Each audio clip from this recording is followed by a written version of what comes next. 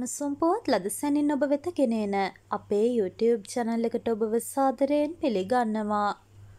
බොරතෙල් මිලේ කැපී පෙනෙන ඉහළ යාමක්. ලෝක වෙළඳපොලේ බොරතෙල් මිල කැපී පෙනෙන ලෙස ඉහළ ගොස් තිබෙනවා.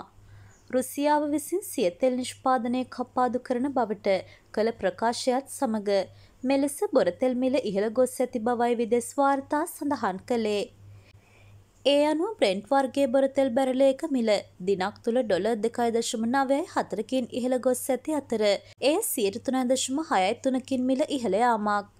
බ්‍රෙන්ට් වර්ගයේ බොරතෙල් බැරලයක මිල මේ වන විට දැක්වෙන්නේ ඇමරිකානු ඩොල අසූ තුනයි ශත හැත්ත දෙකක් ලෙසටයි. WTI වර්ගයේ බොරතෙල් බැරලයක මිලද ඩොල දෙකයි දශම බින්දුවයි හතකින් ඉහළ ගොස් ඇති අතර එම වර්ගයේ බොරතෙල් බැරලයක මිල ඩොල හැත්ත නවය දශම පහයි හයක් ලෙස දැක්වෙනවා. රුසියාව සිය දෛනික බොරතෙල් නිෂ්පාදනය බැරල් ලක්ෂ පහත් හතත් අතර ප්‍රමාණයකින් කපා හැරීමට සිදුවිය හැකි බව පසුගියදා සඳහන් කළා.